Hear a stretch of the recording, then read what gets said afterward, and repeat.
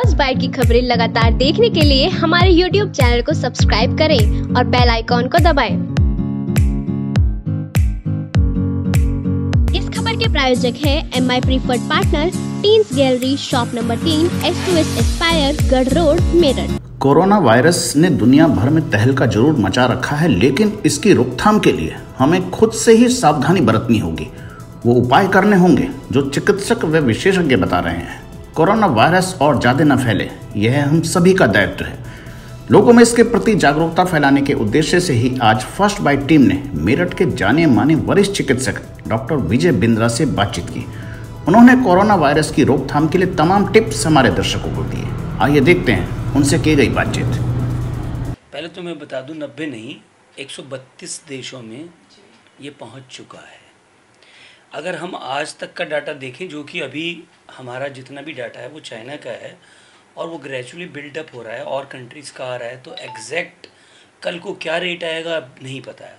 लेकिन अभी हम ये कह सकते हैं कि मोर्टेलिटी बहुत हाई नहीं है कि यानी कि मृत्यु दर बहुत हाई नहीं है।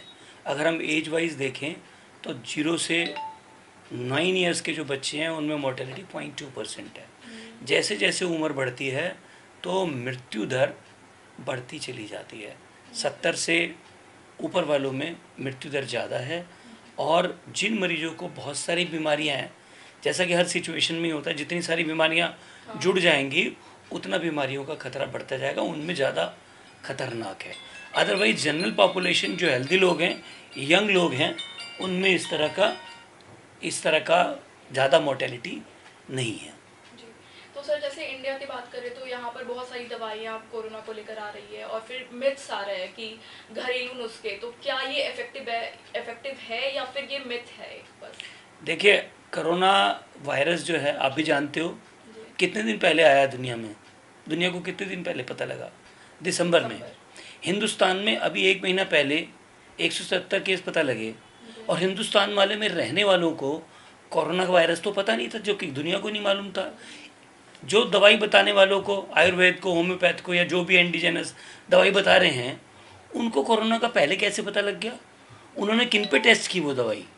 किन मरीजों को वो दवाई दी गई जिनसे इन दवाई बताने वालों को ये पता लगा कि कोरोना में इफ़ेक्टिव है? उनके रिज़ल्ट क्या थे? कितने लोगों में दी गई?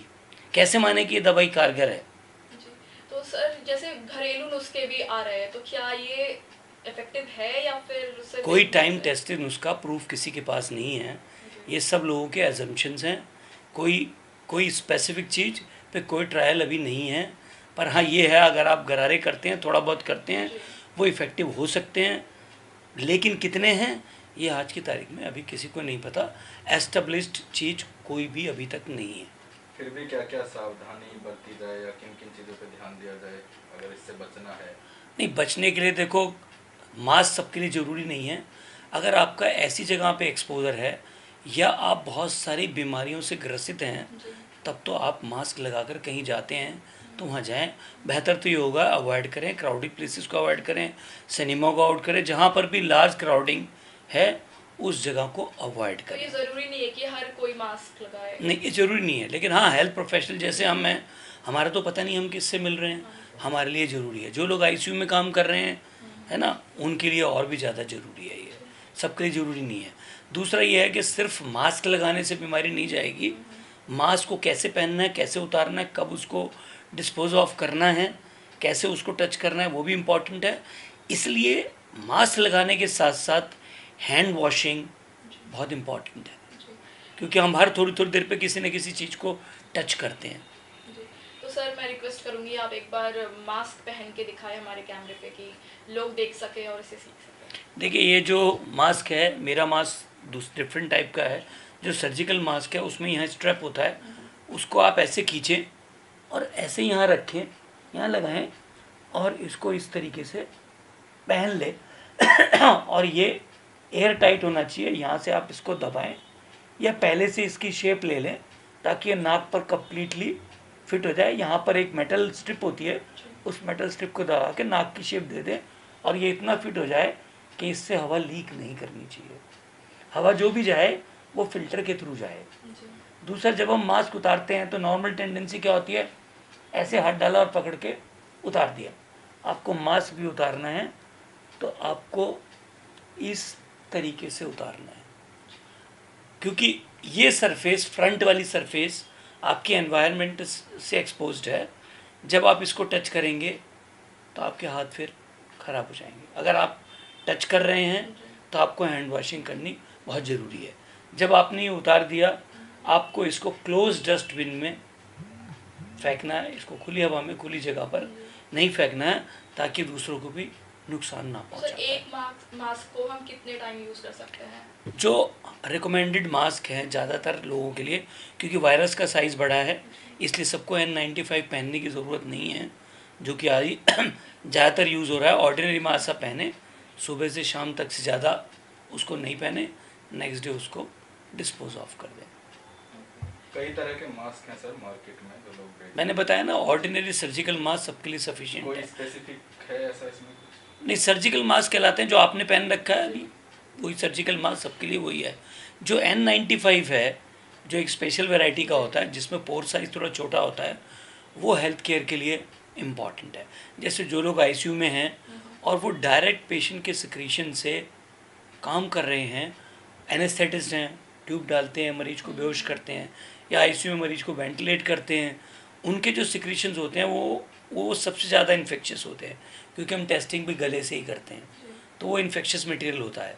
समझ रहे हैं? और डिस्टेंस भी जब हम ट्यूब डाल रहे हैं तो हमारा distance is too close like this is too close तो इन लोगों के लिए एन नाइन्टी फाइव ज़्यादा इंपॉर्टेंट सर जैसे खबर आई थी कि ब्लड ग्रुप से भी मैटर करता है कि जैसे एक ग्रुप वाले को कम हो रहा है ओ को ज़्यादा हो रहा है तो क्या कितनी देखो अभी इस पे रिसर्च चल रही है। You are right there are some data that O group वालों को ज़्यादा हो रहा है है ना?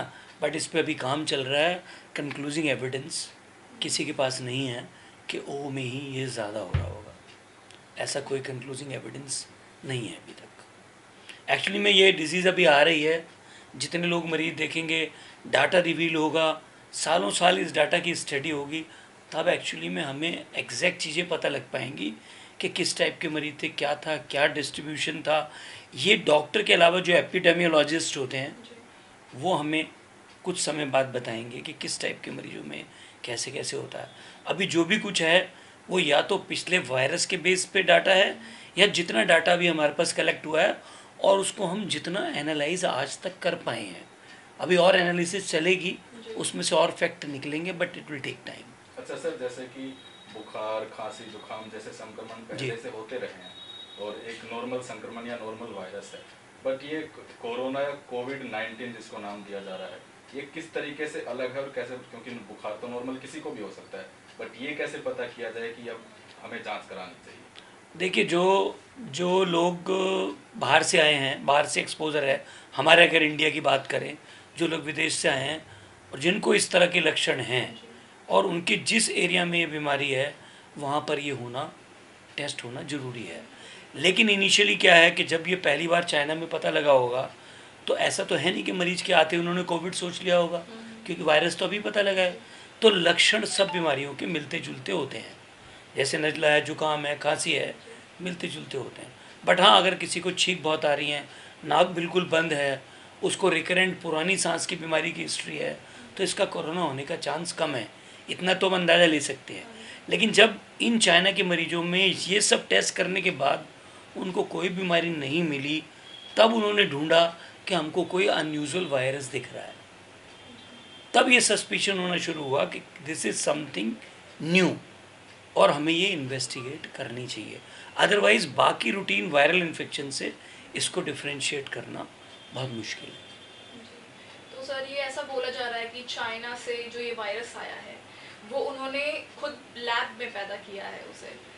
तो इसके बारे में आप क्या कहना चाहेंगे? अभी किसी के पास कोई पक्का प्रूफ नहीं है। सस्पिशंस हैं व्हाट्सएप पे ही बहुत ज़्यादा है सब चीज़ों में बहुत ज़्यादा है। पर ना तो डब्ल्यू एच ओ ने ऐसा बोला ना सी ने ऐसा बोला है ना जो हमारी ऑर्गेनाइजेशन है। अभी किसी ने ऐसा कोई हिंट किसी को दिया नहीं है कि ये वहाँ से लैब से आया हो। बताना चाहेंगे जनता को क्या मैसेज देना चाहेंगे पब्लिक के लिए तो यही है कि क्राउडेड प्लेसेस पे ना जाएँ हैंड वॉशिंग करें जितना हो सके आज की तारीख में कन्फाइन रहने की कोशिश करें बहुत ज़्यादा भीड़ वाली जगहों पे ना करें। अगर कहीं पर आप हॉस्पिटल जाते हैं कहीं जाते हैं किसी जगह देते हैं तो हैंड वॉशिंग फ्रीक्वेंटली करें।